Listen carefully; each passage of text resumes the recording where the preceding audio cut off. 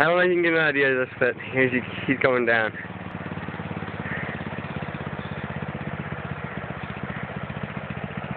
Same thing again. What? Same thing, don't hit the brake.